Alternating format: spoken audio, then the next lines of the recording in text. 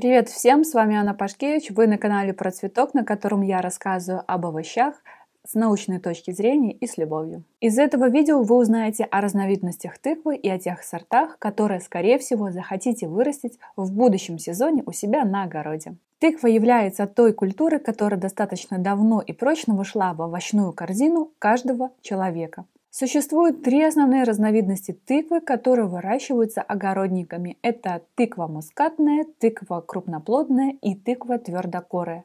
Конечно же, сколько разновидностей, столько и особенностей. Тыквы мускатные пришли к нам из Мексики, то есть из теплого региона. По этой причине они, как правило, плохо вызревают у нас, если мы их высеваем семенами, если мы используем среднепоздние или поздние сорта. Поэтому первая и основная рекомендация по выращиванию мускатных тыкв – это использовать средне-ранние и ранние сорта. Также тыква мускатная называется так из-за характерного тонкого запаха мускуса. У тыквы мускатной тонкая кожура, но несмотря на это, срок хранения может быть до полугода. Если мы выращиваем тыкву мускатную, а еще лучше, если мы это делаем рассадной культурой, то у нас есть все шансы получить красивый, ровный, вызревший урожай. Для тыквы мускатной, в отличие от крупноплодной и твердокорой, будет характерно наличие насыщенной оранжевой, темной мякоти, которая будет содержать повышенное содержание витаминов, каротина и также сахаров. По форме мускатные тыквы могут быть э, в виде вытянутой, э, иногда их называют тыквы гитары, тыквы груши, тыквы лампочки, а также могут быть тыквы мускатные, традиционные для нас формы, округлые и приплюснутые. Так вот, вытянутые тыквы, которые напоминают нам гитару, широко используются в странах Азии. Там они служат не только в качестве овоща, но из них еще делают различные сосуды для переноса воды. В частности, их используют пастухи. Как минимум два сорта мускатной тыквы я вам предлагаю в этом видео. Первый сорт носит название испанская гитара. Как вы поняли, это вытянутая тыква от 70 до метра в длину. Семечки будут находиться в нижней расширенной части. Мякоть будет оранжевая, насыщенная, достаточно вкусная и напоминать чем-то абрикос. Второй сорт мускатной тыквы, который был выведен французскими селекционерами, носит название мускат де Прованс. Это тыква округлой формы с большим количеством ребер, насыщенного оранжевого цвета по кожуре и такого же насыщенного оранжевого цвета и по мякоти. Достаточно красивые вкусные семена формируют мускат де Прованс, но обратите внимание, что этот сорт тыквы относится к средним поздним, и поэтому ее лучше выращивать в условиях умеренного климата через рассаду. Вторая разновидность тыквы, которая более традиционна для наших регионов, это крупноплодные тыквы. Наверняка все помнят э, из детства у бабушки в огороде огромные тыквы, которые вырастали и до 50 килограмм, и наверняка больше. Крупноплодная тыква формирует достаточно крупные плети, завязывают по несколько плодов. Это могут быть от среднеранних до позднеспелых сроков созревания. Как правило, всегда эти тыквы вызревают в условиях нашего умеренного климата. Даже если они не успевают созреть, то мы их спокойно переносим в места дозаривания, где они хранятся от полугода до 8 месяцев.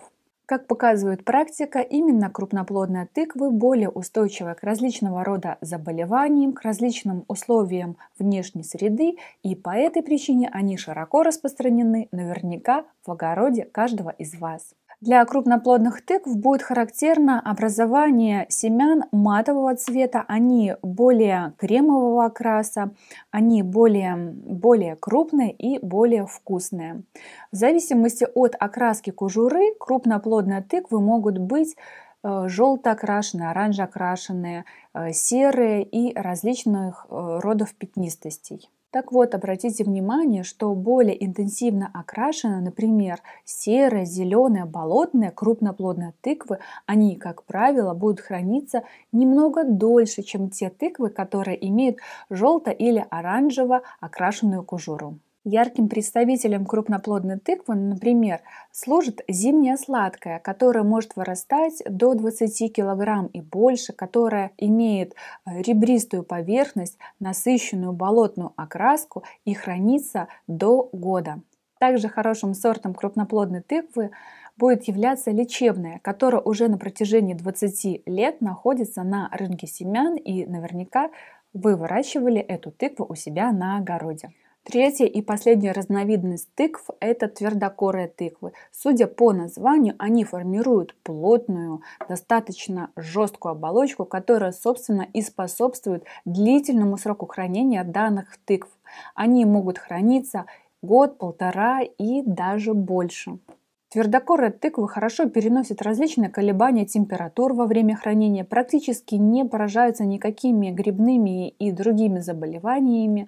Также они хорошо транспортируются, и чем дольше они хранятся, тем крупнее у них становятся семена. Поэтому, если у вас есть задача получить крупные семена, то положите твердокорые тыквы и где-то уже с марта месяца можете из них доставать достаточно плотные налитые семена. Как раз таки среди твердокорых тыкв можно найти такие сорта, которые не имеют оболочки у семян. И такие семена будут называться голосемянными. Иными словами, у нас не будет необходимости очищать тыквенные семена от кожуры, а мы можем сразу их употреблять. Это очень удобно и полезно. Поэтому самым хорошим сортом твердокорой тыквы является сорт, который носит название голосемянная. Это сорт российской селекции, он достаточно распространен, известен. Э, для него характерно наличие толстой плотной кожуры оранжево-зеленого цвета. Среди белорусской селекции твердокорой тыквы также есть сорт, который носит название дельта. Дельта характеризуется тем, что она формирует достаточно умеренного размера тыквы и, несмотря на это, достаточно продолжительное время хранится на протяжении целого года и более.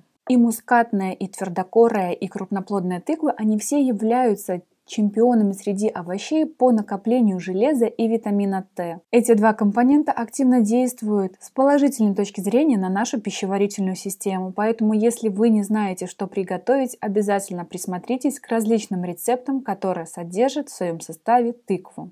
Заканчивая это видео, я хотела бы с вами поделиться информацией, что с давних времен тыквенные семена входят в состав приворотного зелья, поскольку считалось, что именно они придают мужчине силу и увеличивают его сексуальность.